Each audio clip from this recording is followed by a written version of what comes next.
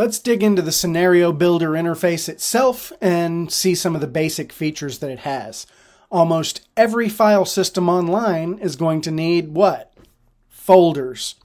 Over here is where you go to create folders so that you can sort your work and your projects. Click the little plus. I'm going to say AI generations. Click save. Then maybe I want to AI automated blogging. Create a folder for that. Create a folder for AI automated print on demand, and so on. Once you've created your folders, if you already have scenarios here, it's just a click and drag to get them over.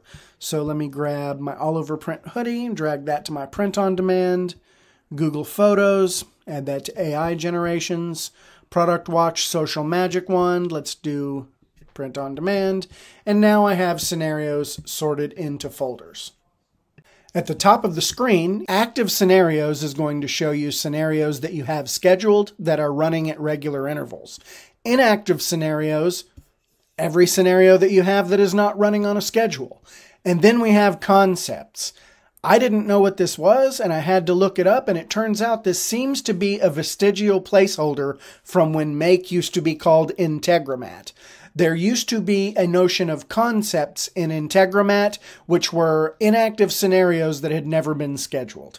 I have never seen anything show under my concepts tab. I think it's just a carryover from a previous version that isn't really actively in use. Right underneath the header menu, we have the sorting options. You can sort your scenarios either alphabetically, ascending or descending, or by date, ascending or descending. Then over here on the right hand side on every scenario, notice we have a little clock icon. If you hover over that, that shows you how often you are set to run your scenario in your scheduler. Next to it, you can toggle a scenario from active to inactive status, which just means it is now either scheduled in your scheduler or it is not. Notice when I select on, my active scenarios is now 1, inactive is now 3. When I toggle another scenario, it's now 2 and 2. So that determines whether or not your scenario is active. Then we have our copy menu, I call it, where you have the option to move your scenario to a folder. I usually just click and drag, but this is the way to do it the old school way. Select the folder you want to add it.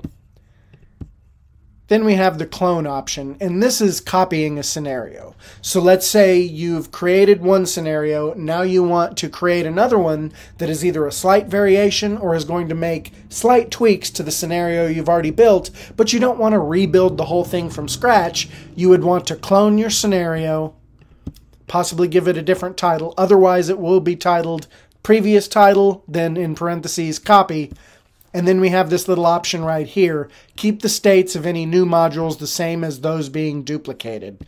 Now, this is actually a convenient option and I like it a lot. I usually have it set to yes. Um, but I'll explain that in another video because it's it goes kind of beyond this particular lesson about the scenario builder interface.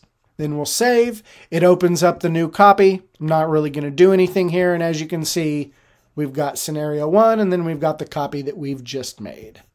When we open a scenario, you'll see we have a completely different header menu. Diagram, history, and incomplete executions. Diagram is really a snapshot of our scenario itself right here, and then down below we have a process graph that contains about 30 days worth of process history in the form of a line graph. We have two different lines on it data transfer in orange, and operations. Data transfer is your bandwidth. So every time we do something like generate an image, push it over to a different system, download something here, yada, yada, yada, all of that counts for data transfer and is measured in kilobytes. Operations can be defined as each time a module completes. So in this scenario, we have eight modules. If I run this scenario to completion and it completes, it will have executed eight operations. Does that make sense? So there are two different measurements, and each one has a defined limit according to your level of make user account. Over on the right hand side of our diagram, you'll notice a scroll down, and this is your history. This right here is a condensed version of what we have in our tab. And it's when I say condensed, it's actually the full history. You can scroll all the way down to the very first time you ever ran the scenario. It's just in smaller form. And so our history is going to show us every time the scenario is run, every time it was successful, and also it will show us when it errors and we can click details and get a summary of the error. So this can sometimes clue us in where the process failed so that we know what changes we might need to make. The last item in our header menu is incomplete executions. This can be thought of as your error log. By default, though, this is not activated. It's not storing anything in here.